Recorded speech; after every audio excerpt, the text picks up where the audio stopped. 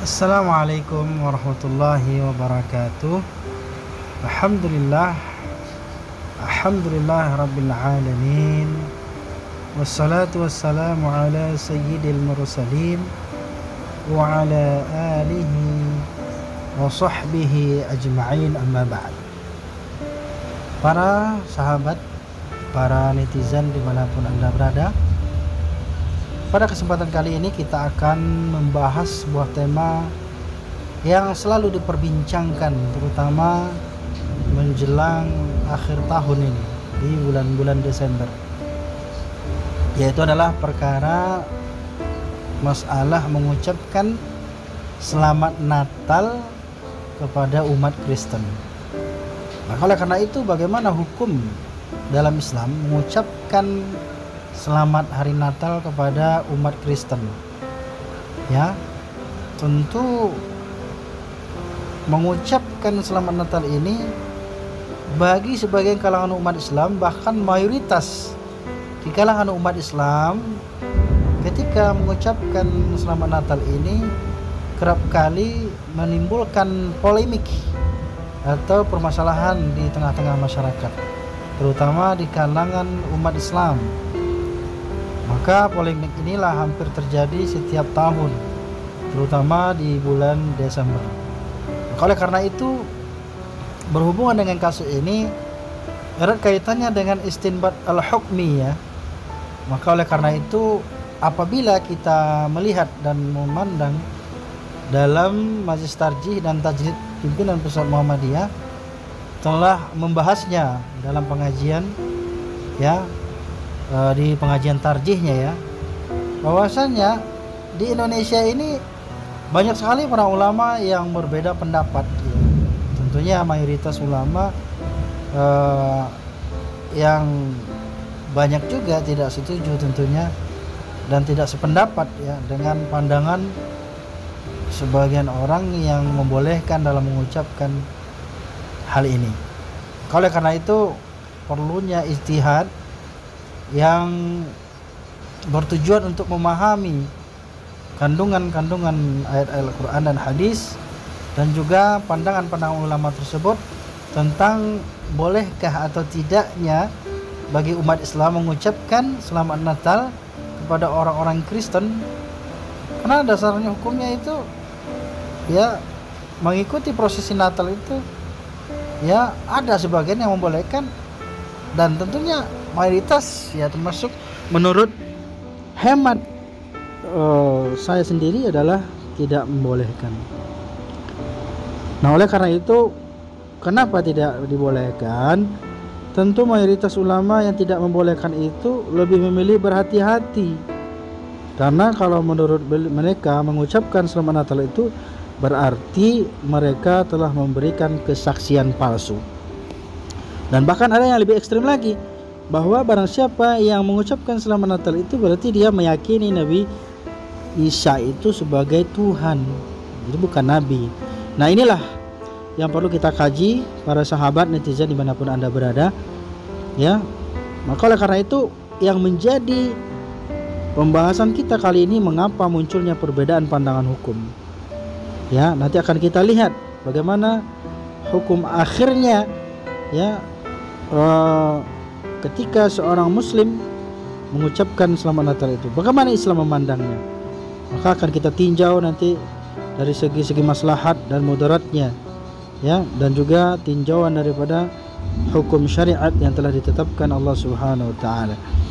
Maka saudara-saudara mungkin sebagian orang yang melihat bahwa tidak ada persoalan di dalam mengucapkan selamat Natal ini mungkin ya ini mungkin barangkali bahwa persoalan ini dianggap adalah persoalan keseharian belaka atau hanya perkara-perkara muamalah duniawiah saja. Jadi bukan masuk kepada masalah perkara akidah. Nah ini mungkin barangkali ya. Nah, oleh karena itu ya bahwasanya para ulama mengharamkan pengucapan hari Natal itu memang berdasarkan penafsiran Surat Maryam ayat 23 26 itu. Dalam ayat tersebut ya Jibril memerintahkan Maryam yang sedang melahirkan Isa Al-Masih untuk meraih pangkal pohon kurma untuk diarahkan lalu mengambil buahnya. Ya diarahkan kepadanya dan diambil buahnya yang telah matang untuk dimakan. Kehadiran buah kurma memberikan isyarat bahwa kelahiran Isa Al-Masih bukan di musim dingin. Dan dengan demikian tanggal 25 Desember bukanlah kelahiran putra Maryam tersebut nah inilah ya pandangan yang pertama nah oleh karena itu secara tegas ulama mengatakan bahwa Nabi Isa Al-Masih bukanlah lahir pada tanggal 25 Desember. Tapi ada pula ulama yang mengatakan bahwa membolehkan mengucapkan selamat Natal ini berlandaskan surah Al-Mumtahanah ayat 8. Ini kita harus kita ungkap ya, meskipun pada akhirnya nanti ya eh, saya sendiri berkesimpulan bahwa diharamkannya bagi kita sebagai umat Islam untuk mengucapkan selamat Natal kepada orang-orang Kristen. Maka oleh karena itu dalam surah Al-Mumtahanah ayat 8 dikatakan bahwa Allah tidak melarang untuk berbuat baik kepada orang-orang yang tidak memerangi umat Islam. Berarti kan orang-orang Kristen, orang-orang non-Islam. Maka siapa pun yang bertujuan untuk berbuat baik, maka ini boleh-boleh saja gitu. Nah, oleh karena itu sebagian orang menganggap bahwa mengucapkan selamat Natal ini merupakan salah satu bentuk perbuatan baik kepada orang yang non-muslim. Atau memperlihatkan sikap baik ya kepada orang-orang non muslim sehingga menurut mereka yang membolehkan perbuatan tersebut tidaklah melanggar syariat ataupun tidaklah melanggar daripada akidah mereka. Makanya adanya perbedaan ini menunjukkan bahwa keragaman dalam pemahaman nas-nas Al-Quran nah maka oleh sebab itu Al-Mumtahanah itu digunakan ya. Ya Al-Mumtahanah ayat 8 ini digunakan. Tapi bagi yang mengharamkan tidak berdasarkan pada Al-Mumtahanah ayat 8 ini. Ya terang dan jelas ya bahwa di sini ada perbedaan ya di kalangan ulama ya meskipun sebagian kecil saja yang berpendapat bahwa itu adalah hal yang biasa uh, perkara muamalah duniawiyah yang boleh di, dilakukan Perbedaan semacam ini hendaklah tidak boleh menjadikan internal umat Islam ini terpecah belah. Ya. Jangan sampai karena urusan perkara akidah orang non-Islam kita ini seakidah jadi berantem ya jadi perbedaan perpecahan terjadi di kalangan umat Islam. Maka umat Islam harus memahami bahwa dalam Al-Quran dan Sunnah itu tidak disebutkan secara spesifik ya mana yang dibolehkan atau mungkin bahkan ya keharaman secara mutlak secara nas secara tekstual tentang masalah ucapan tersebut. Ucapan selamat Natal itu karena masih termasuk ke dalam aspek ijtihadi ya maka ini merupakan kreasi nalar manusia dan refleksi terhadap realitas yang ada gitu. Tidak ada dalil yang tegas mengucapkan selamat hari Natal itu dibolehkan atau bahkan tidak dibolehkan secara tekstualis. Namun pandangan-pandangan ulama lah ya yang menjelaskan mana yang diharamkan dan mana pula yang dihalalkan.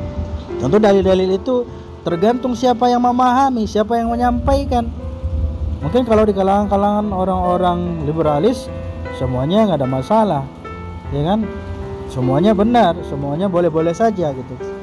Nah oleh karena itu teman-teman para sahabat di mana pun anda berada tidak saatnya bagi kita untuk memperdebatkan ya bagi yang membolehkan ya itu menjadi hak dia tapi bagi yang tidak membolehkan jangan kau usik juga itu adalah hak kami yang tidak membolehkan ketika mengucapkan selamat Natal kepada orang-orang di luar Islam.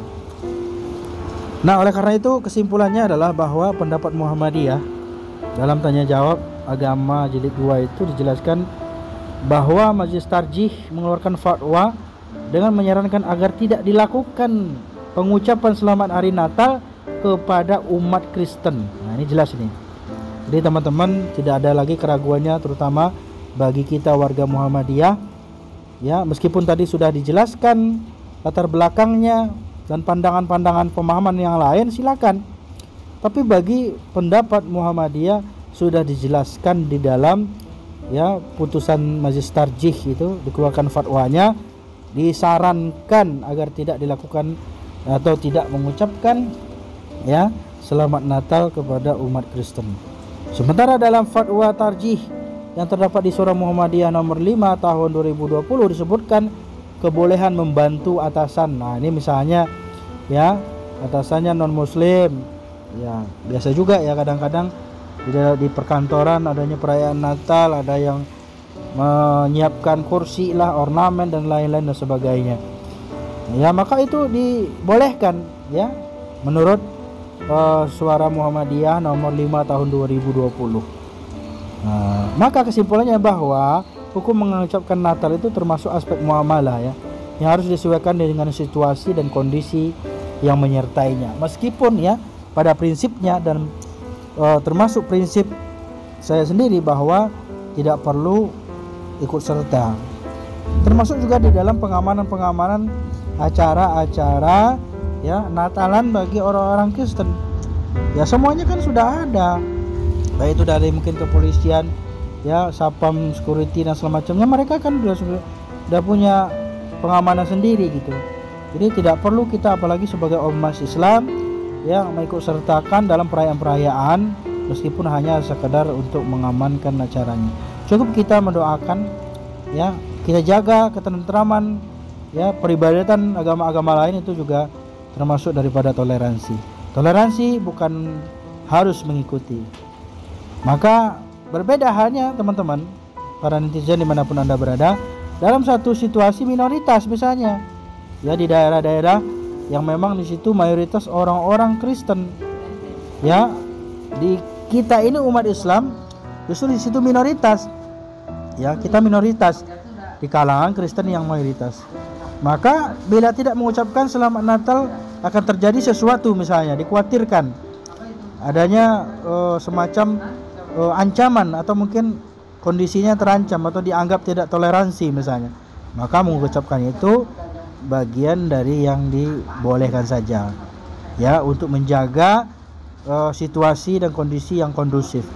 Tapi dalam satu lingkungan tertentu misalnya ya teman-teman dari seringnya berbagai makanan dengan non muslim dalam satu RT misalnya dan tidak ada satu keharusan untuk mengucapkan hari Natal uh, atau tidak ada terjalinnya karena telah terjalinnya hubungan yang baik.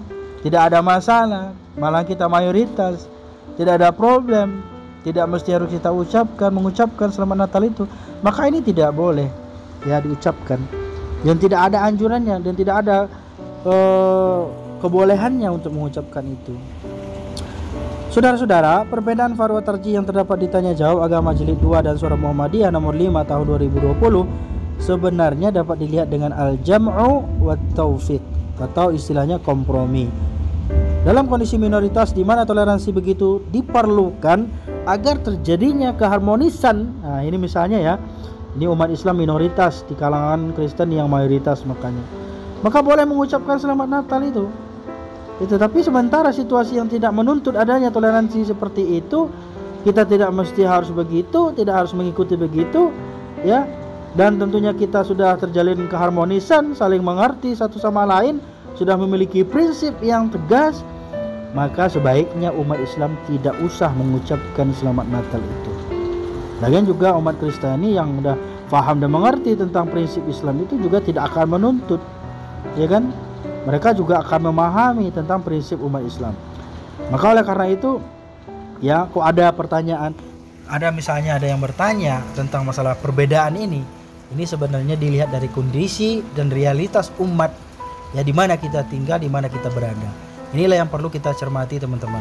Secara kesimpulan terakhir bagi saya pribadi adalah bahwa tidak perlu dan tidak disyaratkan dan tidak disyariatkan untuk kita mengucapkan selamat Natal kepada saudara kita yang Kristen ataupun non Islam di saat perayaan Natal mereka. Teman-teman itu saja barangkali tentang ya masalah hukum mengucapkan selamat Natal ya.